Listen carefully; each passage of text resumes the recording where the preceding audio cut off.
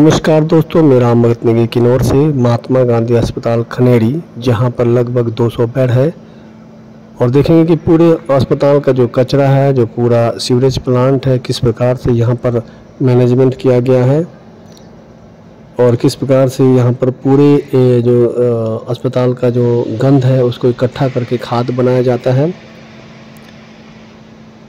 यह, यहाँ पर लगभग जो है आप देख रहे हैं कि जो वीडियो के अनुसार जो सामने पूरा अस्पताल है और इस अस्पताल के परिसर में कुछ ही दूर में बहुत बड़ा टैंक बनाया गया है।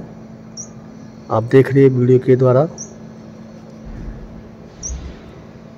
बहुत बड़ा टैंक है और इस टैंक के माध्यम से यहाँ से जो है पाइपलाइन के द्वारा जो सीवरेज ट्रीटमेंट प्लांट है एसटीपी वहाँ तक जो है, ये जो गंद जो है जा रहा है, जहाँ पर इसकी खाद बनाई जाएगी, ये देख रहे हैं आप, टैंक से होते हुए, और यहाँ पर आपको बताया जा रहा है कि ये जो है जो सीवरेज प्लांट है, तीन, थ्री फेस का ये जो मोटर लगा है इसमें, और तीन एचपी का गियर बॉक्स है।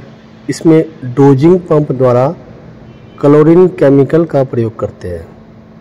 क्लोरीन केमिकल का प्रयोग करते हैं जिसमें हाइड्रोक्लोराइड कहते हैं, जिसे हाइड्रोक्लोराइड इसलिए इसका काम यह रहता है कि स्मेल को ख़त्म करता है और बैक्टीरिया को मारता है।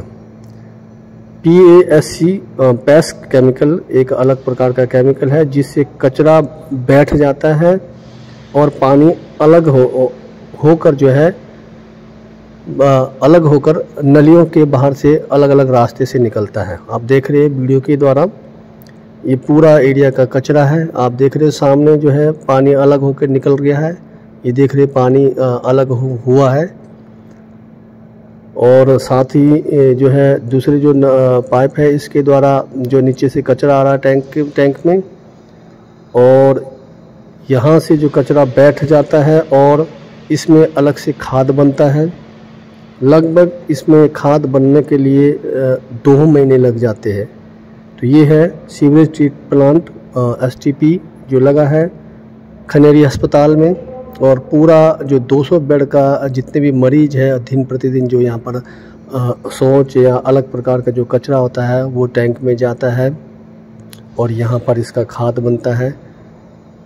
तो किन्नौर पेज से रामगत नेगी।